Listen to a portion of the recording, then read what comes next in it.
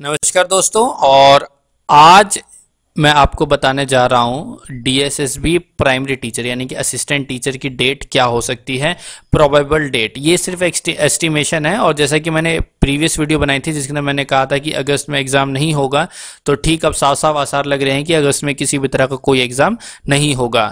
तो अभी मैं आपको बताता हूँ कि किस तरीके से मेरी कैलकुलेशन बैठ रही है, जिस हिसाब से एग्ज़ाम की डेट सामने नज़र आ रही है। जैसे कि आप देखेंगे, आज छः अगस्त को ये डेट शीट आई है मतलब एग्ज़ाम शेड्यूल आया है दो सितंबर का। कब का? दो सितंबर का, जिसके अंदर टीजीटी असिस्टेंट नर्सरी के लिए और टीजीटी इंग्लिश मेल के लिए एग्ज़ाम आया है। ठीक है, ये जो एग्ज़ाम है, ये दो सितंबर का है। देखिए, दो सितंबर का है और असिस्टेंट टीचर के लिए इन्होंने फ़र्स्ट स्टार्ट कर लिया है नर्सरी के लिए।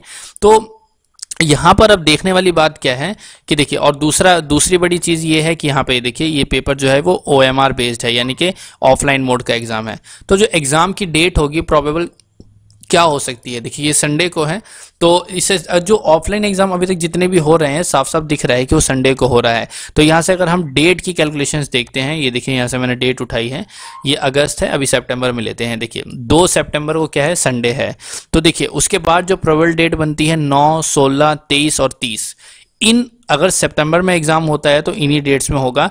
अब यहाँ पे देखने वाली सबसे बड़ी बात क्या है कि असिस्टेंट टीचर जो हैं, इसकी वैकेंसीज कम थी। तो इस वजह से उसको अलॉन्ग विथ टीजीटी इन्होंने उतार दिया है। लेकिन अभी भी टीजीटी की बहुत सारी वैकेंसीज रह रही मतलब बहुत सारे पोस्ट पर अभी तक एडमिट कार्ड नहीं आए हैं। तो यहाँ पर अगर अगर अगर अगर कैलकुलेशन दो तरीके से कैलकुलेशन बैठ रही है। अगर ये नेक्स्ट एग्ज़ाम अगर टीजीटी लॉट का लेते हैं तो अगर ये एग्ज़ाम इन्होंने सितंबर टू को लिया है तो डेफिनेटली नेक्स्ट एग्ज़ाम नौ या सोलह को ये करेंगे। नौ, सोलह, तेईस। यानी कि अगली जो प्रबल डेट होगी ना, वो तेईस हो सकती है या तीस हो सकती है। यानी कि तेईस तीस दिसंबर, तीस तारीख का होना थोड़ा मुश्किल है क्योंकि लास्ट वर्किंग डे है। तो सोलह, तेईस, तीस, इन ये जो तीन डेट है ना, इन तीन डेट में नेक्स्ट एग्ज़ाम हो सकता है।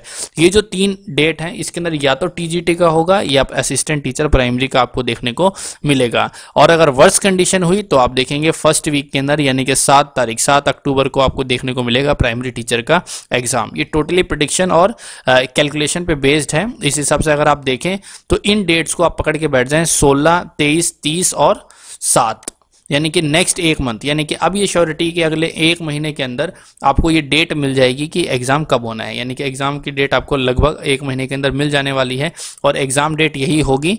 अब जो डेट्स मैंने बताई हैं, सोलह, तेईस, तीस सात एंड चौ फोर्टीन इसके बीच में आपको एग्ज़ाम देखने को मिल जाएगा। आपको कहीं जाने की, इधर दौड़ भाग करने की ज़रूरत नहीं है। और जहाँ तक बात है प्रिपरेशन की डेफिनेटली आप प्रिपरेशन कर ही रहे होंगे और हमारी पहली प्रिडिक्शन भी एकदम सही साबित हुई है, जिसके अंदर हमने बात करी थी कि कई सारे लोगों ने दावा किया था कि अगस्त में एग्ज़ाम होगा और हमने साफ़ कहा था कि अगस्त में एग्ज़ाम होने की कोई उम्मीद नहीं है। तो ठीक वैसा ही हुआ। अब अगस्त में किसी भी तरीके से प्राइमरी टीचर का कोई एग्ज़ाम नहीं होगा। अब जो कुछ भी एग्ज़ाम होना है, अब सितंबर एंड या फिर अक्टूबर मंथ में होगा। तो आशा है प्रिपरेशन कर रहे हैं। और ऐसे ही प्रिपरेशन की अपडेट्स पाने के लिए चैनल को सब्सक्राइब करके रखें और इस वीडियो को भी अपने दोस्तों के साथ शेयर कर दें। मिलते अगले वीडियो में। तब तक के लिए धन्यवाद।